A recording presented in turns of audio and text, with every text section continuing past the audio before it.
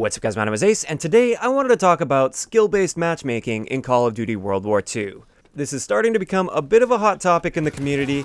There's a lot of YouTubers and streamers out there claiming that there is definitely strong skill-based matchmaking in this game in public matches, and it's really starting to blow up. I'm seeing all over Reddit people are ranting about skill-based matchmaking and everything, and I wanted to share my thoughts on it today. So first up, I'm going to go over exactly like what skill-based matchmaking is and how it relates to the Call of Duty community and how it's been received in the past. Then towards the end of the video, I am going to be sharing my opinion on whether or not I feel skill-based matchmaking is in the game. Now keep in mind throughout this video, when I say skill-based matchmaking, I'm referring to strong skill-based matchmaking. Technically speaking, there is skill-based matchmaking in every Call of Duty. This was actually confirmed by a Treyarch developer a couple of years ago, Technically, skill has always been somewhat of a factor. It's just that most years, it doesn't really feel like it's a huge factor. So when I say skill-based matchmaking throughout this video, I'm referring to strong or very strict skill-based matchmaking. So skill-based matchmaking has been a very controversial topic in the past with Call of Duty, Specifically, in Advanced Warfare, this is when the topic really blew up because people felt that the skill-based matchmaking was very strong in that game, and it may have been. I, I, definitely see some evidence that pointed to the fact that it was quite strong in that game. And for the most part, it seems the Call of Duty community does not like strong or strict skill-based matchmaking in public matches.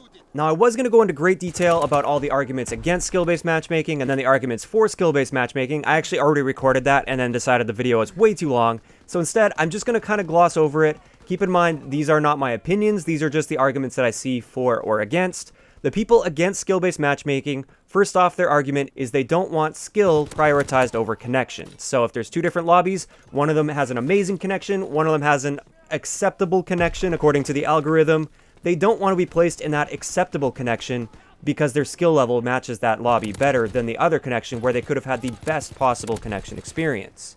Another argument is for variety. If you're a really skilled player and you keep getting placed in lobbies where every other person in the lobby is right around your skill level, if you want to be able to compete, if you want to be able to do really anything in that lobby, you kind of have to stick to a certain set of guns and a certain type of playstyle. You can't just be running around with a shovel and going for camo challenges. You can't be going for headshots with some of the more difficult weapons to get headshots with, because you're just going to get annihilated constantly by these higher skilled players. So variety for you just goes out the window. Every single game is going to play the same, basically. And finally, even though there are a lot of other ones, like I said, I'm kind of glossing over this, Another big argument I see against it is this is what ranked play is for. If you want a competitive experience, if you want to rank up, and you want to be able to see what rank you are, which kind of goes along with this with strong skill-based matchmaking in pubs. You don't know if you're the top 1% or the top 5% right now and you're playing in a top 5% lobby. You have no idea if you're playing in that lobby. With ranked play, you see what your rank is, you have something to grind towards, you have something to work towards, and in those situations, you should be playing in a highly competitive environment. So those are the most common arguments against skill-based matchmaking. The big argument for skill-based matchmaking, I think it's really the only argument, but it is a very large argument for skill-based matchmaking or strong skill-based matchmaking, is you want to encourage new players to join the franchise and continue to play multiplayer. If somebody picks up the game for the first time and you throw them into a random lobby that isn't match based on skill, there is a chance they're going to run into a veteran player or a few veteran players in that lobby, and they're just going to get stomped on repeatedly, not have an enjoyable experience, and then they're never going to come back and play the game again. And for me, I kind of see both sides of it. I tend to lean away from skill-based matchmaking in public matches with Call of Duty. I really do strongly feel that that's what ranked play is for, but I also do understand wanting to shelter the newer players and encourage them to continue playing the game. This is why I feel like instead of strong skill-based matchmaking, they should have had more of like a combat training playlist where you can only access that playlist if you're below, let's just say like level 30.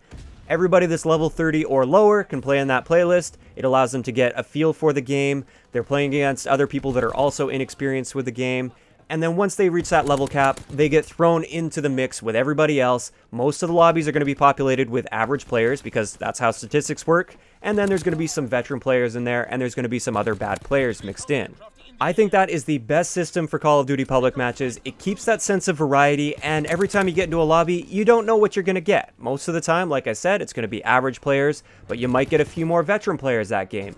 Or you might get a few more noobs that game. You don't know if you're going to have a highly competitive experience where you have to try your absolute hardest and even then you might not come out with a win. Or you don't know if you're going to end up dropping a V2 rocket that game. That's part of what people love about Call of Duty. It's that experience of chasing that high and you never know what you're going to get. With very strict skill based matchmaking, you pretty much always know what you're going to get a highly competitive experience. So now that we have all that out of the way, is strong skill based matchmaking currently present in COD World War II? Personally, I don't believe there is. Now, I'm not claiming as a fact that it is definitely not strong skill based matchmaking right now. All I'm saying is I don't see enough proper evidence to support the fact that there is strong skill-based matchmaking in this game. I've seen a lot of the complaints from YouTubers and streamers, and a lot of the screenshots and stuff they've been posting, but for the most part, what I'm seeing is a confirmation bias. They're actively looking, whether that be consciously or subconsciously, for evidence of skill-based matchmaking. When they get into a difficult lobby, they're definitely going to be screenshotting that and saying, here we go, that's my proof, that's skill-based matchmaking right there when in reality, you're still going to be running into tough matches, especially when there's parties present. So, so far, all I've seen is anecdotal evidence that points towards skill-based matchmaking, and that's not enough for me. I'm not seeing proper evidence that it exists, and until I do, I don't believe it is currently in place. That's not me saying it's impossible that there's currently really strong skill-based matchmaking in the game. It's absolutely possible that it's there, and I'm just not seeing it. But until we get proper evidence, I don't think we should be claiming, as if it's a fact, that there's strong skill-based matchmaking in the game. It's totally fine to have this belief that there's strong skill-based matchmaking, but especially as influencers, we shouldn't be telling our audience that we know 100% that strong skill-based matchmaking is in place. It's causing a lot of people to freak out. There's rants all over the place from people that really don't know for sure. They have some anecdotal evidence and that's it, and this can be really harmful to the community overall. This could turn people away that start thinking this is a fact when there isn't enough evidence to support this. One interesting thing I wanted to tack on to the end here is for some of these YouTubers and streamers, I've seen them completely contradict themselves with this, and this is part of the reason I feel there's a lot of confirmation bias going on here. Some of these streamers, one moment they'll be complaining about really strong skill-based matchmaking, and then the next moment they're complaining about the fact that they have potato teammates or thumbless teammates and they show a screenshot of them having to carry this team of just terrible players to victory or trying to carry the team and losing the game. These statements contradict each other. When you have games like that, where you have thumbless teammates, I'm using air quotes here, teammates that aren't very good at the game and they're doing just terrible, they're going like 3 and 20 in a game consistently, this is evidence against skill based matchmaking.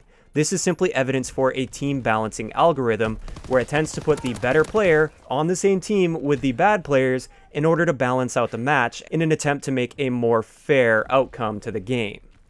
Now, whether you agree or disagree with that team balancing algorithm, that is evidence against skill-based matchmaking, and a lot of these people don't realize that they're contradicting themselves. So again, just want to reiterate, I'm not claiming that skill-based matchmaking is absolutely not in the game, and I'm also not claiming that you're wrong if you believe strong skill-based matchmaking is in the game. I'm simply saying we don't have enough proper, non-anecdotal evidence that it is in the game at the moment. So with that, I'd like to know in the comment section below, what do you guys think about this? First off, what are your opinions on skill-based matchmaking? Do you think it's a good thing or a bad thing in Call of Duty public matches? And second, do you currently believe that there is strong skill-based matchmaking present in this game? If you enjoyed the video, a like rating is always appreciated, and don't forget to subscribe for more if you haven't already. I'll talk to you guys next time.